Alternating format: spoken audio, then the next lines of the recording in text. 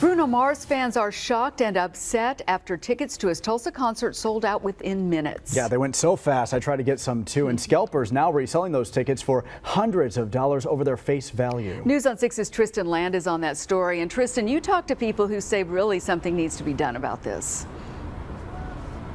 That's right, Terry. Many frustrated fans took to social media after finding out that the tickets were immediately sold out.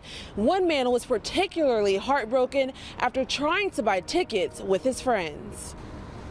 They're the hottest tickets in town, from Pink to Justin Timberlake to Bruno Mars.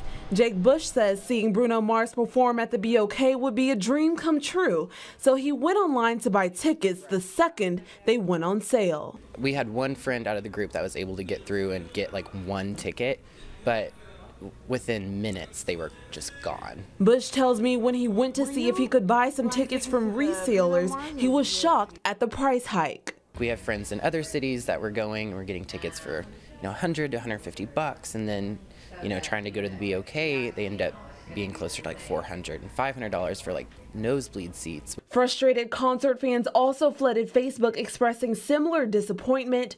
One fan wrote, I tried to buy Elton John, Justin Timberlake, Pink. I can't afford any of them. Another says no one is worth $1,200 for one ticket. One fed up fan wrote, That's why I don't bother with anything at the BOK anymore. The BOK tells us there is little the venue can do to keep scalpers from buying and selling tickets at prices higher than face value because neither the state of Oklahoma or the city of Tulsa has any ordinances or laws prohibiting scalping, but they say they are working with Ticketmaster to combat the issue. As for Bush, he says he would love to think action might be put in place after today's social media uproar. There needs to be some type of system that keeps that keeps these ticket prices, you know, where the performers have set them and prevents scalpers or whoever, these secondhand vendors, from snatching all them up.